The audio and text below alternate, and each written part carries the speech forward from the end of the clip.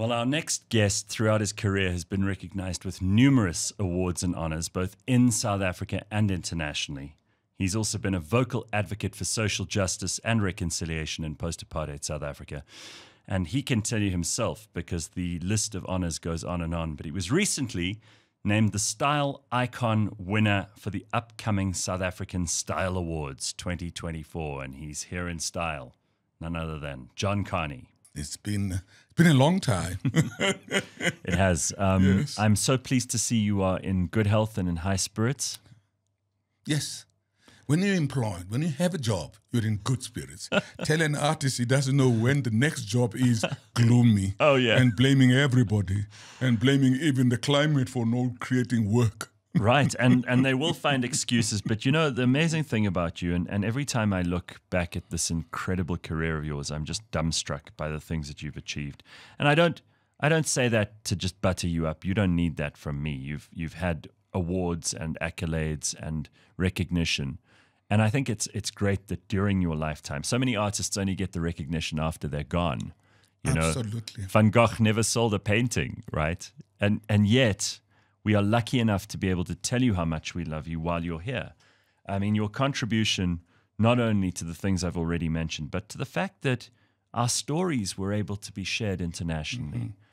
Through the apartheid years, post apartheid, you were a man who was prolific. I mean, you put together some of our most famous stuff. You know, you've got Sizwe Banzi's Dead, we've got The Island, and that was in the 70s. And as you move into the rest of it, I mean, it's just incredible how your career has become more than more than I suppose even you expected. Could you ever have imagined this when you were a young man starting out? Not at all. I wanted to be a lawyer. Really? I told my father I'm going to be a lawyer. And my father says, "No. It's too dangerous because I know you. You're going to end up being a human rights lawyer in apartheid time. I've lost my son. My other uncle already is on Robben Island and my other son is in trouble. So please, could you choose something nice? safe. and safe. But I mean, listen, there's no doubt that you were not playing it safe. No. The rebel streak came out anyway. The funniest thing, Gareth, is that not a single production was planned, even in choice, that this is going to be an expose of the apartheid system. I was always attracted by the truth and the challenges of the creating the work, artistic challenges. And suddenly, when you step back and you look at what you just created, by some kind of miracle, it mirrors our society at that time. Even with Sizwe Banzi is dead, we were laughing at this guy who took a picture of himself with a pipe and a cigarette lit in those Bantu photographic studios downtown. Yeah. We knew he was going to send it to his wife. He says, I'm now in Port Elizabeth. you know, so there was even a plastic flowers and a phone, you know. So that was the joke about between Winston Ntshona and Athol Fugard and I. But then we stop, says, why would he do that? Why would this man, he looks decent, he's in his 50s, mm. and dismissing it. I said, I got his passbook in order, dismissing it. So let's get on with what we were talking about. They said, stop. Athol said, what do you mean passbook in order?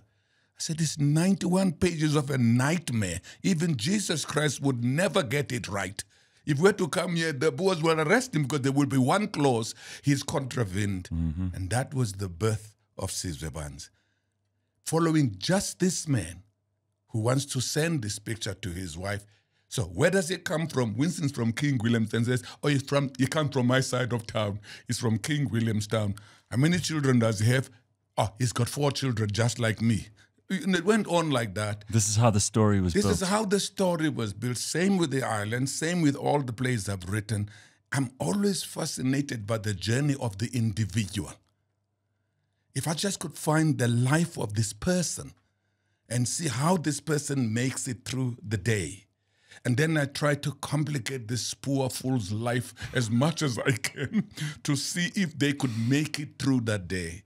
So no work was, this must be against anti-apartheid. Mm. This must be against, because mm. there's no play like that. Politicians do it. There's no play about AIDS right. and COVID-19. The scientists are doing a hell of a good job.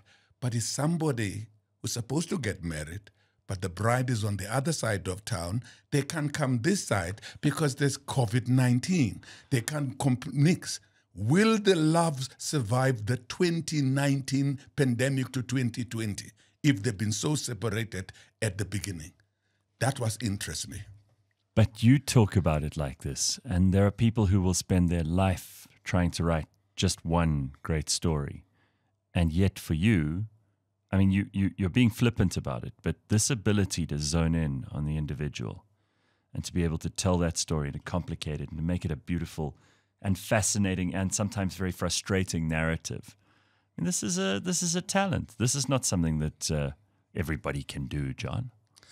Well, my grandfather had three wives and could not spell polygamy. He just did three wives. What was the problem? You had the problem. So, Grandma one told us a story of the Kani clan. She made me believe that I am from royalty. My great great grandfather Mjaja was a prince. But what happened was, and then that I didn't understand then why I would be royalty. Grandma number two brought education and religion because my grandfather didn't believe in those things. They said, There's no one up there. My ancestors are in my kraal. Yes. The school, he said, the kids are taken away from the chores of working in the fields, looking after the goats and cattle. It's nonsense. Now, grandma number three was from Pondoland. She had a tattooed line right in the cross her face. She was the most beautiful young thing for my grandfather. And she only always talked about gender issues. She once asked me, Do you know that little girl? I said, Yeah, Mpo. He said, Do you know her? I said, Yeah, we're together at school. She says, When you look at her, what do you see? I said, Mpo. He said, No, no, look again. I said, I don't know what you mean, Grandma. He said, You see me. What you can say to that little girl might be something you can also say to me. What you do to that little girl must be something you know that I will be proud of you. Wow. That was my lesson. That that's uh, that's extraordinary. So these three women had a, had a very formative role in, in in helping you to understand the way the world was. But were there other people as well in, in your early years who had a profound influence in the way you thought about things and how you told and how you were told stories? Because the ancestors, whether people believe in it or not, uh, these are the, the things in our genetic memory and they help us and if you have if you have some kind of skill or if i have some kind of skill it's come from somewhere. It didn't just suddenly arrive. You see, with uh, the phenomenon of urbanization, people moving from rural areas or homesteads into the city looking for work, it's a natural phenomenon. It took away that intergenerational conversation because my grandmother was just behind the house where my father is. So we used to go to my grandmother's place when we don't want to do our chores, and she would tell stories. And she would say, Well, you tell a story. He says, No, I can't tell a story. I'm still a child. He says, No, well, tell one of mine. And I would say, No, your stories are too long. Before they're halfway, I'm asleep already. did, did you understand? Now, families has become me, my wife, and my two kids. That's it. Hmm. Yeah. It's no longer that family thing where you could relate to the people who are older than you. Even in the community of New Brighton in those early uh, 50s, you were a child in a village. If I stood somewhere there, once day I was standing with my brothers, you know, and the dudes were smoking dacha. I don't smoke, I don't drink, I never did. But now, as I'm talking, so this guy says to me, Hey, pass the Zol to Z. So I take the Zol, I'm about to give it to Z, and my uh-huh. uncle is standing right in front of oh, me. no. He says, I knew it. I'm telling my brother now. Oh, no. You smoke.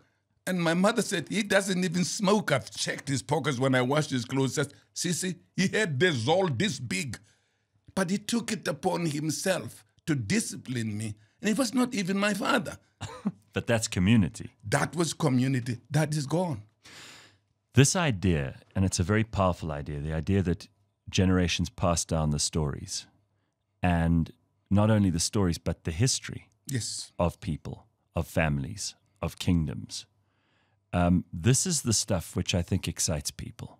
And you know, I can't help thinking that when they cast you in, in Black Panther, they did that very knowingly because they weren't really just looking for a good looking man who had some wisdom in his eyes. They were looking for someone who could embody in a single expression, which you managed to do without even realizing it, a huge amount of memory, history, stories.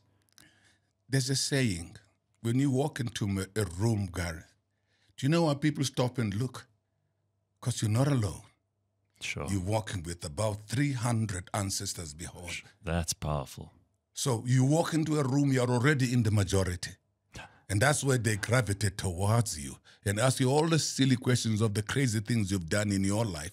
And you think, well, I just came to have a glass of wine. Why am I the center of attention?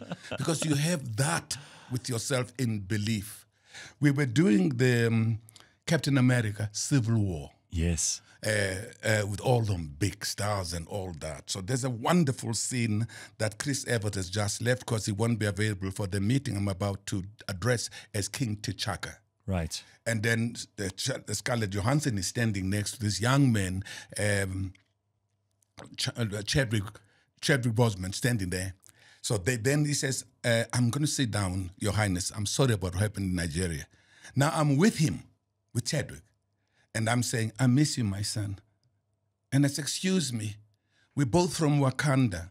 And we've agreed that Wakanda is a country somewhere in Africa. So why are we speaking English? Surely me and my son, the others are gone, the Avengers are gone. I should ask him in my language. Yes. And they said, Well, um, what would you say? And I said, I just spoke Xhosa. "Unqabile nyana, ndikugqibele kudala." And Chadwick says, Ngiyabonga baba. Oh, wow. Stop.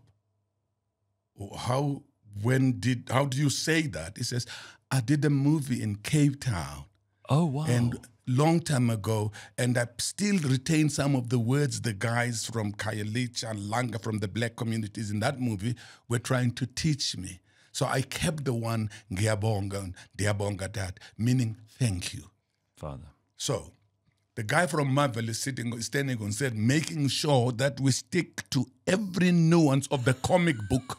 because he says we already have millions followers of the comic book. Right. So you got to stick to the comic book. You don't want an argument that, well, it's different in the comic book. They lose. You have to be religiously the comic book. And so, what So- happened? He says, Dr. Kani, say that again. So, "Ngqabile nyana, ndikugqibele kudala." he says, that's the official indigenous language of Wakanda. So, Just like it's that. closer. It's a cross.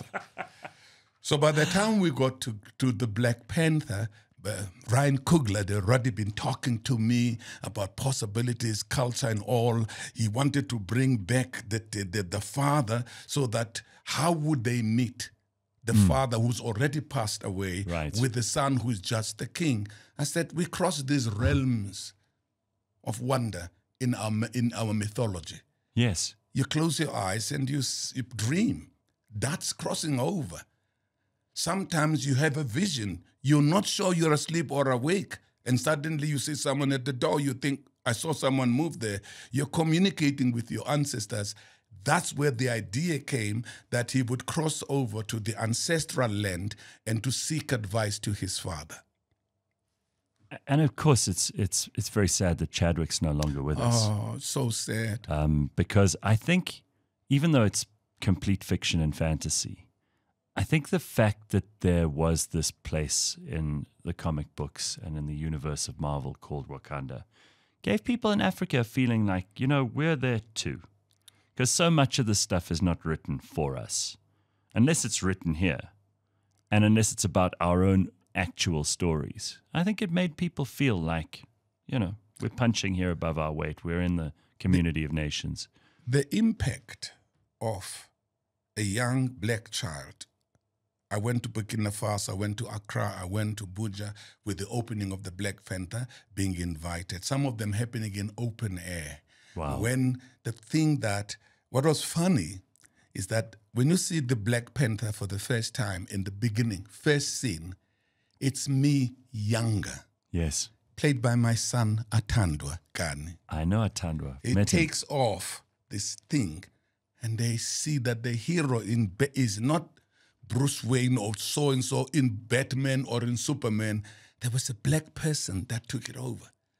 Later, when Chadwick takes the mask off and the kids screaming on the open air, politicians, I was made the vice president. I'm thinking, live here, I'm getting very famous in Africa very soon. but the whole idea that the hero could be like me, and the hero who is the centerpiece of this Wakanda of a Black Panther, it looks like me. It gave a different sort of feeling of being great too. So that's what he did with the Black Panther. People felt, yeah, now our stories are told. But that was a comic book story. Sure. We still have to tell our story. We still have to talk about our heroes. We still have to find money because these works, when we tell our stories, I mean, you saw we tried to tell a story of Nelson Mandela. You saw we tried. Mm. You know what I'm saying? Mm. He, you, you meet Mandela. He goes over to circumcision. He comes back as a man. He becomes a lawyer for two sins, and then they send him to Robben Island for life. Yeah.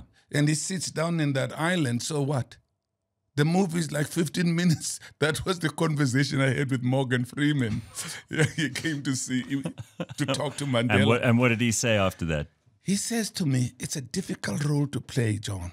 It's not like Othello because Othello permeates story right through. This guy went to prison and became a model prisoner. Yeah. It is, was not like Al Capone. Al Capone became more dangerous hmm. because he had an alibi. He killed more people while in prison because he had an alibi. It's not like God in New York. So he just stayed there. And then you pick him up later when he's negotiating and he become president. So my question with the script is that what do I do between 1964 and 1990 Yeah. in the storyline? Correct. So that's what he had those kinds of challenges in, in, in playing Long Walk to Freedom. You know, we do have beautiful stories, and it, it must frustrate you as much as anyone else that the market is is cons- it, people tell you the market's small. I mean, I don't think it is. I think that good stories will find an audience. I'm sure you agree with me on that.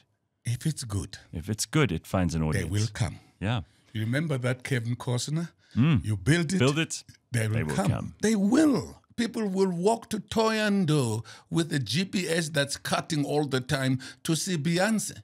Yeah. But they won't walk two minutes, right, to Stanton if they don't care about that artist. If that cut is not captivating their imagination, they won't go. They'll talk about can't go to Newtown because of the security, the hijackings at night. You know, have to drive back to Soweto after 10, you know, all those things. But it's good they go. So, do you worry about theatre? And I'm not trying to put a dampener on what's a very, a very lovely, fun conversation so far, but I've been very worried for the the, the fate of South Africa's theatre. But you were there, you saw it through some of the most incredible and challenging times before. But I think what's happening now, and trying to get young people to watch live theatre in a world of phones and screens, is a very difficult thing to do. Look, I remember in 1990 when Mandela was released, I used to make a joke. We had thousand scripts saying release Nelson Mandela, which had to be shredded because we saw him walk out of Robben Island. I remember some political parties had printed 30,000 T-shirts. Release Nelson Mandela, release politi- people, political prisoners, return of Unban the ANC. unban the ANC. There he is. The ANC is unbanned. De Klerk said it in one speech. What are we going to do with these T-shirts? So that's what happened to theater. Suddenly, the the the target, the focus, the trajectory. That's what we did theater. Mm-hmm. So while we were creating incredible art stories that reflected our lives, there were a lot of people who got into the industry because it became an industry, not an art form. An industry is where you make money, you create a product, and you sell it. Sometimes the product is nonsense. So then we got this position, this point of the early 90s to about 95, 96, that the theater was bad. Was because people were really not knowing which way to go. What am I going to talk about? Because the white people was the problem, you see? Hmm. Now, if after 94, we're all the problem. all of us had the problem, and all of us had to come with a solution. We did not have this glorious position of the victim. Yeah. Now, now we created our own victims, and we were also our victims ourselves. So we needed to solve that. So it took a little longer time for the writer to come closer to telling the story. For me, it took me right up, for instance, doing plays and movies. I left everything. It took me to 2003, 2002, that when I started to think, there's a story I want to tell. That's when I wrote Nothing But the Truth. Mm-hmm. That was me confronting me. Do I forgive?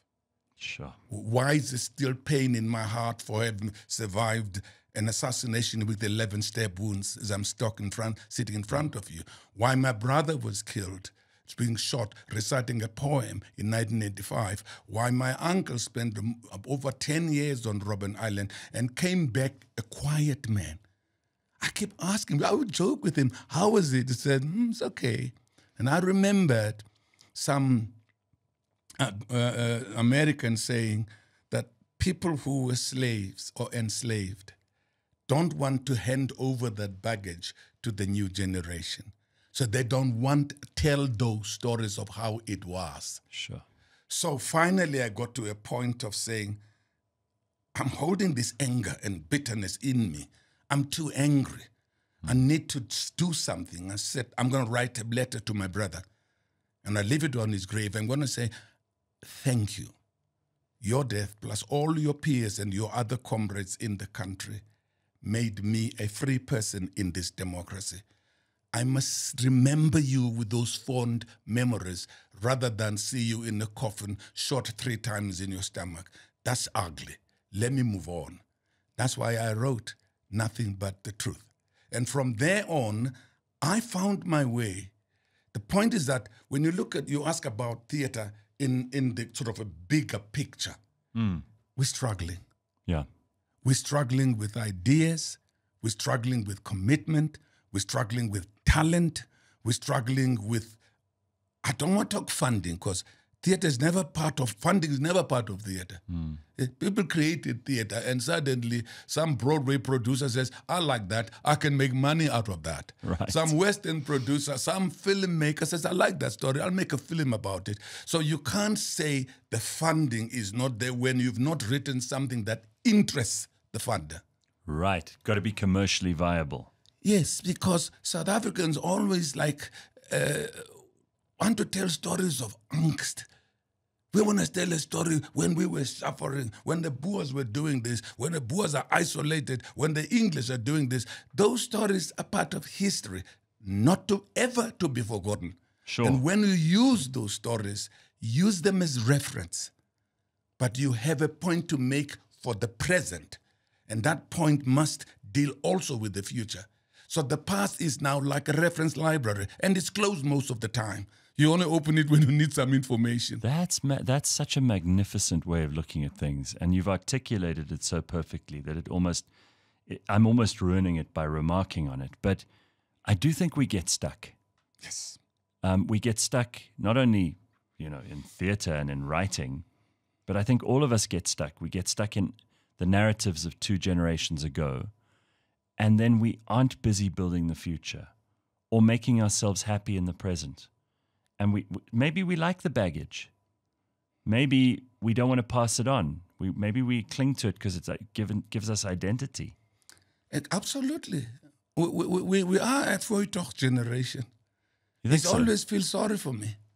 And even when you are very successful, you are seen as betraying those that are not.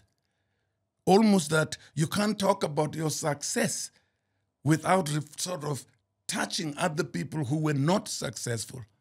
You can't even say, I've made money hmm. because I've worked hard. Where do you think is that the, the, the, the famous tall puppy syndrome, or is it also? And I can have this conversation with you because I know you won't get upset about it. Is it also a part of Christianity? Is this idea of suffering and the cross, and suffering brings you close to Jesus, and you mustn't be too happy or too successful because then you forget about the suffering and you're not a good person.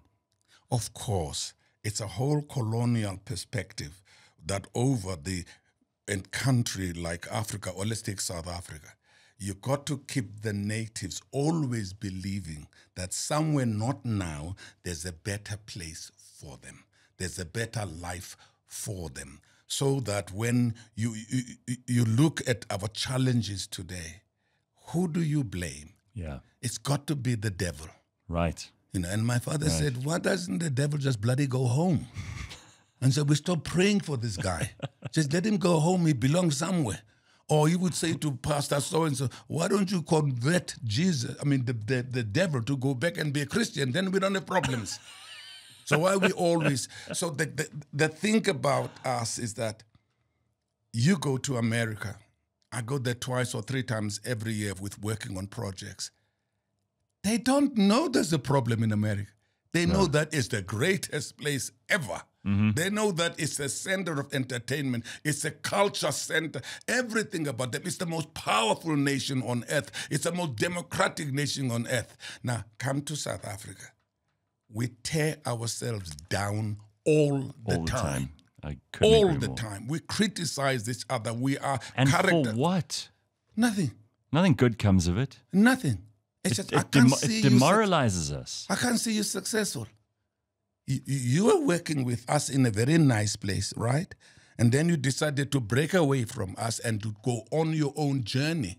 Oh my God, we're going to cut you down for the rest of your life because you couldn't have made it on your own. Because if you stayed in the group of complainers, you would have been like us. Your branching out and leave and find mm. your own voice is making us uncomfortable. Therefore, we are going to find reasons of your success. We may even say there are things you do that we can talk about, but we're still investigating. We're not even in the ISU. What is ISU? This investigating units. But we always want to know why are you successful? We don't applaud success. We don't. We don't. In every sphere, you make money. Got to be some money from somewhere. Crooked. It's crooked yeah, somewhere. Something's going on. It's worse if you're black. It comes from tenders. Big time. It's tenders. Big time. You see. So you go like, uh, well, the English, the economy is collapsing. They don't even know. They're still talking English. they don't even know, you know. But one thing the English know is entertainment. They have got many theaters all over the UK and they're doing work. The work is light because they know that you've been through a hell of a day. You take one break, me and the missus, or me and my friends, we want to see a musical this evening. You don't want to sit there and worry and Oh, no, have an existential crisis. crisis and tell me that there's AIDS and there is more, there is what you call COVID nineteen. There's another strand. There's an, they don't care about it. They just say, let's celebrate who we are. Let's entertain. Let's enjoy our lives. It's not long anyway. So let's that's get on with it. Then you come to us in, in, in Africa as a whole. It's always, always. I was saying to my son about these many coups that's happening all over Africa. I said, if these guys came from outside and they came to change the government because they have been witnessing it doing wrong, I'm happy with that. But these are number twos to the corrupt leader Right. that move Yeah. the leader out. They take over, not because it's their time, because it's their turn. Right. And they don't improve things most. No, because they were number two. Yeah.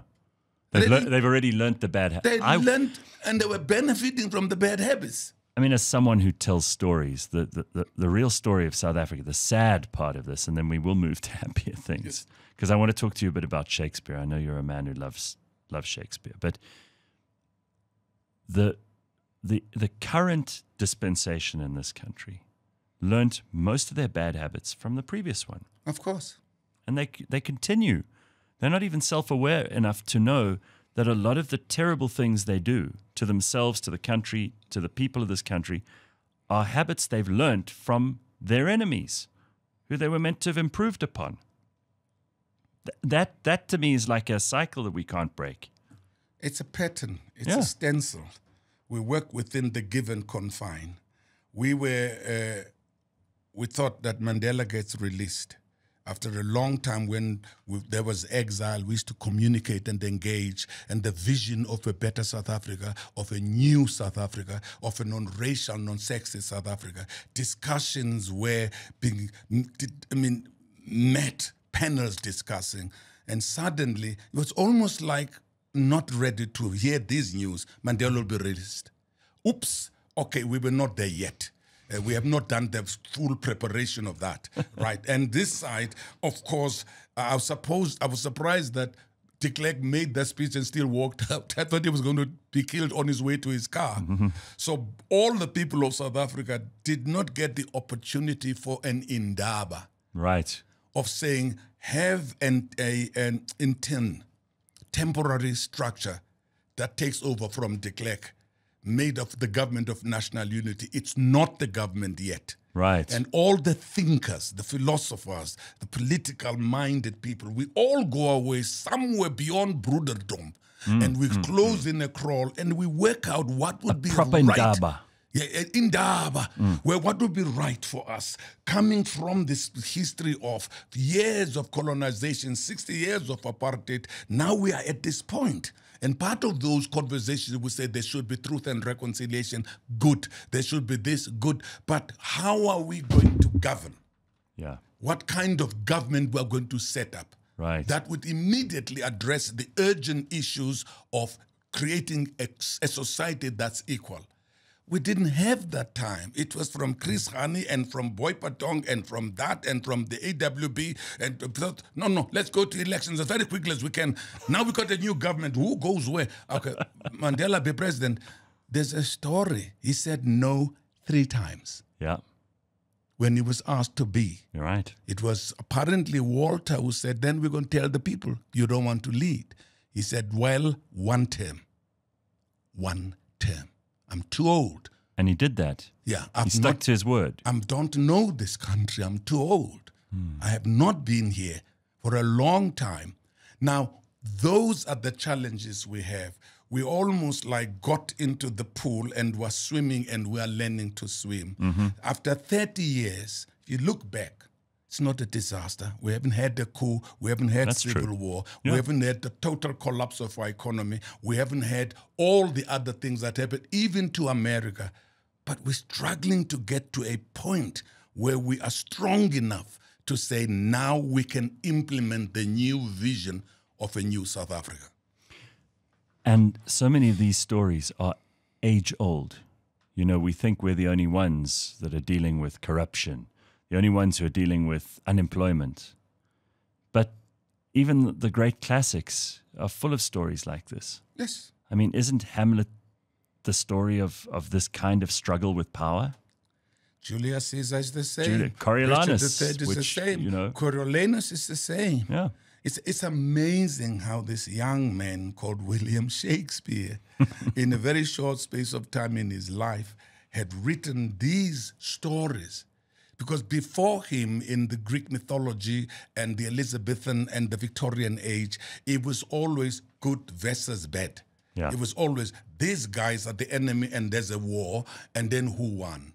He went into the feelings, the senses, senses of hate, fear, love, you know, and conflict within oneself. He dealt with human behavior.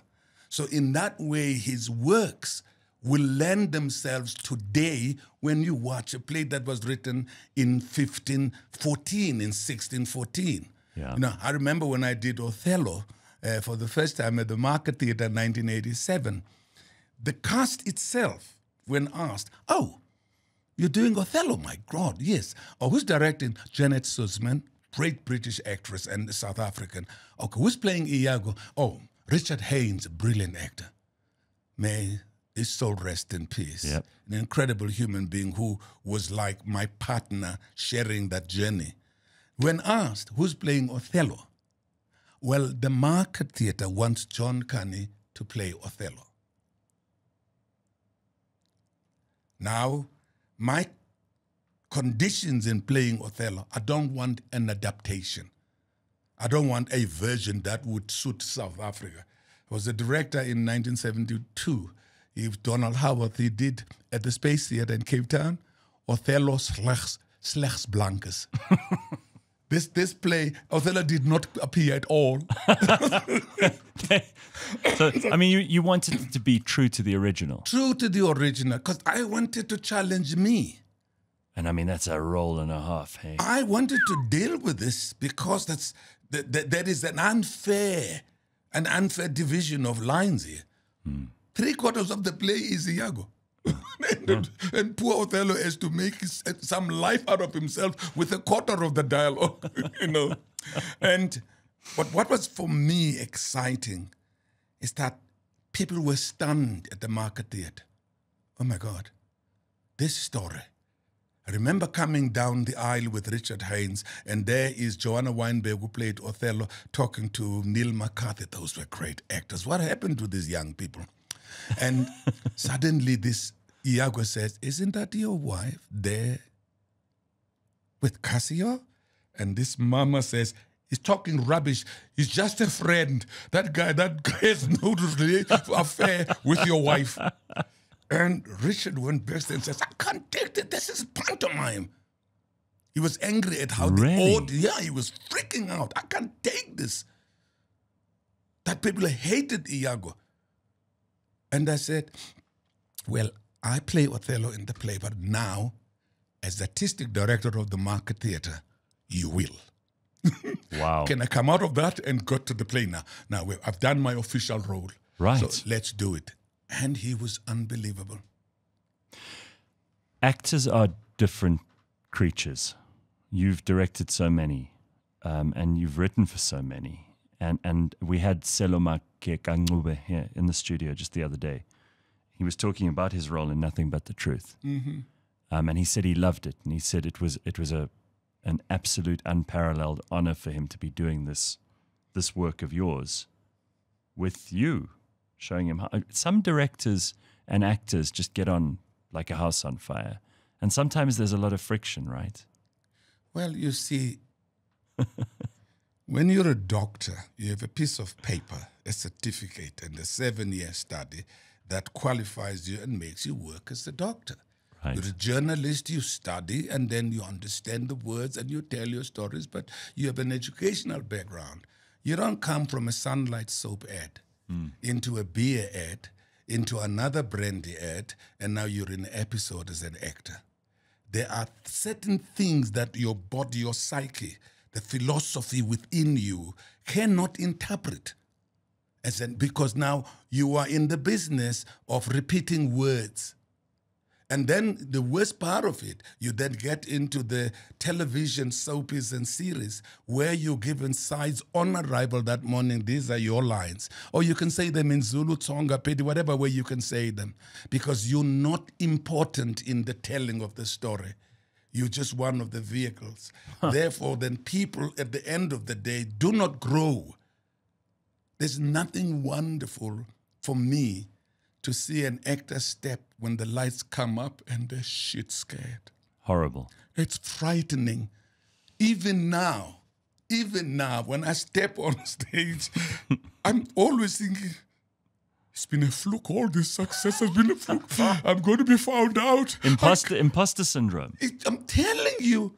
I'm standing at the at the Royal Shakespeare Company in Stratford. I've written the play called Kunene and the King, and I'm with Sir Antony Sher, whose name is all over the, the Royal Shakespeare in Stratford. And it open and we come in, and he first goes in alone, and he's busy. I knock on the door. I come in. I get an acknowledgement of a round of applause Oh, from 650 Beautiful. very English people. beautiful. Good. They must have good taste. They must have good taste. that then will take you a deep breath. But then sometimes we complain that people don't come to the theater. The worst at marketing for a theater as a building or work of an artist is a bad play. Oh, yes. And the double worst one is a bad actor who really doesn't know what the hell is going on. Then people will associate this bad play with your venue. And they will say, the last thing I went to see at that theater was terrible. It's going to take them a lot of time. We haven't got disposable income, and it's not safe to drive at night, mm-hmm. sit in a play while you are thinking, I'm going to have to drive out of this theater and go back to North Northcliffe. Mm-hmm. That's a hell of a drive. I'm going to drive to Soweto, and I'm going to not do mm-hmm. that for a bad play. I'm not going to do that. You mentioned your son Atandwa, and obviously the artistic streak runs in the family too, just as it came from your grandmothers. Um, would you ever dissuade them from going into the arts? Because a lot of people who are in it say, "Oh no, no, no, no! Rather become, as your father tried to talk you into being a lawyer, rather become a doctor." Or, a, I mean, I've, I've, you know, I've met your kids, and they're smart, they're intelligent, they could have done anything. Well, when you grow up in, in the theater, one day I say to my wife, take the kids, we're going to see a play. They come to see my play. I wasn't aware what I'm doing. That was when I was, the seed was planted in one of them. Right. But I was just giving them a, a- an exposure to the arts and maybe make them see some references of life that they would use in different areas where they would operate or work or live. That was my idea. So they they know about theater. They don't have to be actors because they go to the theater. They don't have to be writers just because my father is also a writer. So then he says to me, 2003, after he passes matric, he says, um, I ask him, what are you going to do next? He said, Well, I want to look at sort of political relations and political science and all that. I said, That's good. You see, I'm connected, you see. I know guys in government. I, I- can get him a, a, a job at the, at the Washington, D.C., in the, in the embassy. I can get him one in London. I can talk to my brothers to Thabo Mbeki. He could place him in, in, in Paris, you know. And then I'm about to go on, on stage on at the Lincoln Center, and we're talking to my wife on the phone. He says, "Oh, Atandwa wants to talk to you." Uh-huh. I said, "Hi, yeah, how you doing, bro?" He says, "No, Dad, I'm fine. I'm in." I said, "Yeah, at Wits University." I said, "Great drama." he said, "That's exactly why I didn't tell you." Oh, it's that wow. pause. Oh wow. I've been saying great, great, and suddenly says drama. I went, that's good. he said, that's why I didn't tell you. Now, my way of thinking it is it daddy's name? Is it daddy's success that he thinks I could ride on that and be also? Or is there a little iota of a talent in him that would sustain his life? Because this is not easy. This is up and down and more downs than up. Yeah. Right. And slowly, then while he was at Wits, I went to see what he was doing, a Molière's Miser play. I said to my wife, he can act. Let's shut up. What a relief. What a relief. now he's in Cape Town. Yes. Guess what he's doing? Othello Oh my God. at the Baxter Theatre. You've been to see it yet? Baxter Theatre, directed by Lara Foote. I did it in 1987. Unbelievable. In 2024, he's stepping Wow. in my shoes. He says to me, What can you say? I said, Nothing. It just requires courage. Just be brave and just believe in yourself. I had nothing to do with it. By the way, can we have a coffee? Change subject. That's very clever to change the subject. That is that is a truly uh, great skill that most fathers don't have. they don't have the ability to act their way out of there. Uh, that, I mean, that must be a very proud moment. I mean, all these things that that you see your kids achieve, you must be proud of them. Do you think your father would be proud to know that you were where you are now, that you've done the things you've done? How much of it did he get to see? He went in 1973 Mm. at the St. Stephen's Church Hall.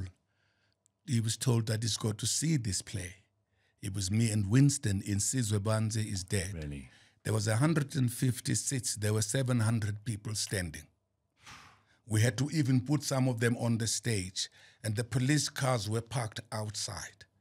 And my father said, I will never, ever go see the rubbish he's doing. We're nearly arrested this evening.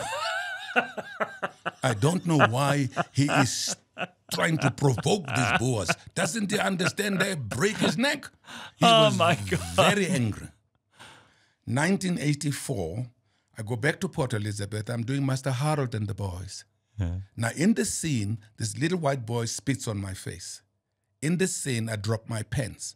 So, mom and dad came to see the play at the Opera House in Port Elizabeth.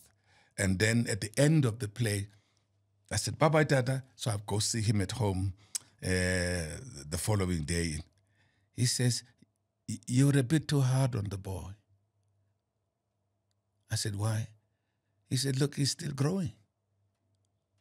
I'm thinking, how am I going to explain why I allowed this white boy spit on my it, face yeah. and tell, told me to drop This my was his. This was his takeaway. Yes. That I went very hard on him to tell him the story of his alcoholic father, who I used to carry on my back through the streets of White Port Elizabeth because he was crippled. That was the real story of Athol Fugard's father. I told him that story and I reminded him the day I made a kite for him, how he's as happy. How dare he now wants to call me a boy? Hmm. And my father says, You were too hard on the boy. Wow. 1977, I come back from the England. I've been doing the wild geese, and I got paid about twelve thousand five hundred pounds. My father says, "I hear people are saying you're a millionaire. Where's the money? Can I see it?" you know, right. But now, my father always explained what I do. He said, My other brother is a chief mechanic. My younger brother is Reverend Kani. My sister is a teacher. So and so is this, so and so is this. Uh, what happened to John? He's always away. That was me. You were always away. Always away and is worried about me. Hmm. 1985, I come back from New York and he's sitting with his friends. I used to buy him the r- uh, red hot rum, yes. the liter bottle Right. right at duty free. So he's sitting with his friends, and I, I says, "Are you back from New York?" Yeah, I'm back. So I put the bottle there. He looks around. He says, "Hey guys, this is my son, John Kani. He's an actor. Ah, Ah. He died three months later. but recognition. He found the words in his mouth to say with pride, Beautiful. This is John Kani. He's my son. He's an actor. So you ask me the highlights of my career? It would be that moment where I could not say a word. I just walked out. Finally said it. Hmm. You got to repeat that with Atandwa, huh? It's his life. We, we'll bump into each other. I've directed him three times, and he reported me to mom that I'm hard on him. Oh, really? I'm, I'm hard on him. I I'm so uh, pleased that we got to have this this catch up, and I know that there are so many people in this country who have, uh, in the in the world of theatre and the arts, um, haven't got to to hear how grateful the country is for what they've done, and I'm glad that we've got you here still to show us and to tell us the stories and to and to and to make us laugh and make us cry and make us think and make us love and make us hate. It's a tremendous power that you have, and you are absolutely one of the best people. So thank you. Well, I must say, I am one of those few who the country has acknowledged. I have an Order of Ikhamanga in silver from President Thabo Mbeki. Quite I have a Tony Award on Broadway. Quite right. I have an Obie on off Broadway. In the 31st of August 1975 is the John Kani and Winston Ntshona Day in Washington, the District of Columbia. The 9th of Sep- the 9th of October is the John Kani Day in the state of New York. I've just been honored by the uh, Voices of Freedom. My previous recipients of that honor was Nelson Mandela, Albertina Sisulu, and Bishop Tutu. sure. I've just now been honored by uh, um, uh, the Kennedy Center. Foundation as the JF Kennedy Gold Medal. Unbelievable. A couple of days ago, the Department of Foreign Affairs, DIRCO, honored me with Ubuntu Cultural Diplomacy uh, Veterans Award, acknowledging 50 years of my working abroad hoisting the flag. The last one, I've just been honored by King Charles III, King Charles III, with an OBE. Fantastic. It is the officer of the most excellent order Of, of the, the British Empire. order of the British Empire. Now, if I was a British citizen, that that means a knight, A knighthood, correct. but I'm not. So uh, I said, no, I'm riding with John Kani. It's fine because I won't no, get we, work. we could we could get away with calling you no, no, Doctor Sir John Kani no. That's that's too much. no, John, too you know, much. Mm. um, just just again, uh, because you're such a, an easy person to talk to, and those are not even all the awards. Those are not No, all the no, honors. no, no, I and I know, through. and I know that there are probably many more to still come. Are you are you feeling pleased, accomplished, and satisfied? Is there still a burning passion for you to do more? Are you happy to see your grandchildren grow up, or do you still have work to do? I still have work to do. Looking, I love this country. I'm, I'll be 81 in August. And I know where we come from. I was 51 years old when I voted for the first time in my life. Now, where we are now worries me. It gives me sleepless nights. It makes me ask the question is there anything that I haven't done, could have done, that would have changed the trajectory, the history, the direction of the country? Looking at the young generation, there's such a gap from me and the next one. There is no, you know, what you don't find in journalism the young people coming up who are who, who are news readers, and then I see them talk to people on the street. And then next time they're interviewing the politicians, they're interviewing a scientist about this. You think these people are extremely genius. How did they know everything? and you think that was not in our time. Our time we worked. We did a research on this story. When before we could even interview the person, we found out a lot about it, and we knew whatever we would do during the interview will feed positivity. Ubuntu and, and, and encourage people to grow. This time is when you heard that your father was shot, how did you feel? I mean, I live a year. what My father just shot you. Want to know what I feel? I want to kick your ass and move on. You, you see, that's for me. There's this gap that um, that in politics, in life, general, social, medical, everywhere. There's this area that we haven't found the words or the formula to kickstart it into moving towards creating a better South Africa. I don't know. My mother used to say, You're not Jesus, you can't solve everybody's problems. I said, But I can try at least. Maybe we need to make a suggestion that this is these are the issues. I, I, I tweeted something being naughty. I said, The elections are coming 2024. I want to vote in 2024. But please, party people, don't tell me what the other party is not doing. Right. You tell me well, how you're going to make an impact in my life. Oh, by the way, I'm an artist. Right. Damn right. And if they're not paying, if they haven't been paying attention for what, 50, 60 years now, what are you going to do for them? They What you need to do? wake up. I think it's so important. what you just said now is just absolutely beautiful because none of our work is finished. And if you at 81 are not going to give up, then the rest of us have bloody cheek doing anything less. Thank you, sir. It's such a pleasure and a privilege to spend time with you. Thank you. Thank you. Rab. It's been great coming here again. Thank you. Indeed. Thank you.